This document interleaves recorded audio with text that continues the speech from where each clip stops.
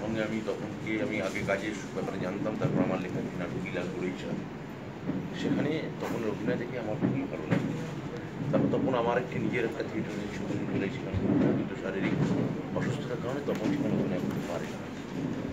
কিন্তু তখন এই কাজের সম্পর্কে আমার সম্যক অবৈধি আছে, অন্তরঙ্গ নাট্যচর্চা নিয়ে আমি নিজে সরকারের সঙ্গে কথা বলে পর্যাপ্ত জাতীয় অন্তরঙ্গ নাট্য আহ, কেন্দ্রগুলো তাদের শিল্পের ক্ষেত্রে প্রকাশের ক্ষেত্রে এবং শিল্পৈল্পিক স্বাধীনতার ক্ষেত্রে যাতে একই সঙ্গে এই প্রত্যেকটা প্রকাশ ঘটাতে পারে এবং সেখানে রাজনৈতিক রং যেন মুখ্য না হয়ে ওঠে এবং রাজনৈতিক রংকে অতিক্রম করে শৈল্পিক রঙই যেন প্রধান হয়ে ওঠে।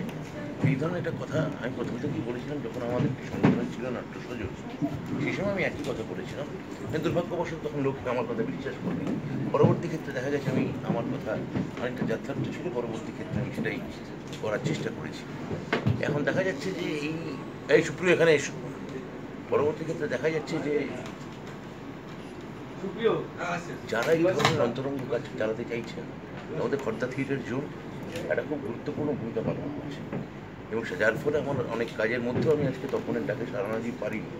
আমার আমি আজকের মানে আমি আমি কি মনে করি, তার থেকে বড় কথা আমি উপস্থিত হয়েছি এই কজটাকে সাপোর্ট জানাতে, সেইটাই বোধহয় আমার বলা অনেক বাক্যের থেকে বেশি বাংময় হয়ে ওঠে। আচ্ছা আমরা কি এখন বর্তমান যুগে দাঁড়িয়ে অন্তরঙ্গ নাট্যোৎসবের জন্য আরও কোনো এরকম চিমটি মিত্রর মতো আরও হলের ব্যবস্থা করতে পারি? এই বিষয়ে আমার। হ্যাঁ এটি মিত্র যেমন করে আমি চেয়েছিলাম অন্তরঙ্গ থিয়েটারের জন্য হোক, তেমনি আরও দু একটি জায়গা, বিশেষত সেক্টর ফাইভে এবং রাজারহাটে। রাজারহাটের একটা পর্যাপ্ত একটা স্কোপ আছে।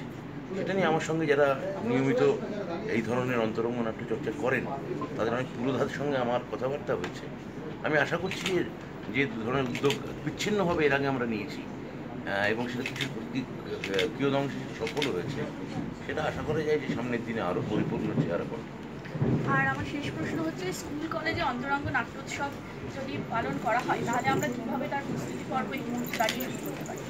কারণ আমার মনে হয় স্কুল কলেজে প্রথম যেটা করা উচিত সেটা হচ্ছে যে ভাষা বিষয়ক মর্যাদা ফিরিয়ে আনা বাংলা ভাষা বিষয়ক মর্যাদাকে এবং সেটা স্কুল লেভেল থেকে মানে যে এখনকার যে ছেলেমেয়েরা বাংলা বলছে এবং যারা বাংলা বলতে চাইছে না, ইংরেজি বলতে চাইছে, যারা বাঙালি হয়ে বাংলা বলাটাকে অপছন্দ করছে, সেটা তাদের ব্যাপার। কিন্তু আমি মনে করি যে এই এই ভাষায় যারা কথা বলেছেন, এই ভাষায় যারা কাজ করেছেন, সে সে যে ভাষাটা উচ্চারণ করছে ভাষাটার সঙ্গে যে কত বড় মহান ইতিহাস জড়িয়ে আছে, সেইটাই অন্তরঙ্গ যারা থিয়েটার করছেন, তাদের যদি কোনো প্রচারের জায়গা থেকে থাকে, তা হচ্ছে এইটা।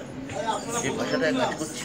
সেই ভাষাটার অতীত বর্তমান এবং ভবিষ্যৎ সম্পর্কে একটা যোগসূত্র করে তোলা সেটা সেটা সেটা- সেটাই বললাম সেটা নানা রকম ছোটো ছোটো টেক্সট তৈরি করতে হবে। ছোট ছোট script তৈরি করতে হবে। হ্যাঁ স্কুল কলেজগুলোকে সেটা। বোঝাতে হবে। কিন্তু তার প্রাথমিক মানে সেতু হওয়া উচিত ভাষা ভাষার বিষয়টা। কেননা যেভাবে চলছে এর ফলে আজকে যদি আজ থেকে দশ বা পনেরো বছর পরে যদি কোনো বাংলা এবং ইংরেজি দুটোই বলতে পারা এবং জানতে পারা কোনো শিক্ষিত ছেলে যদি থিয়েটারে কাজ করতে আসে তাহলে তারা দর্শক থাকবে না। এইটা হচ্ছে সমস্যার জায়গা। অনেক ধন্যবাদ।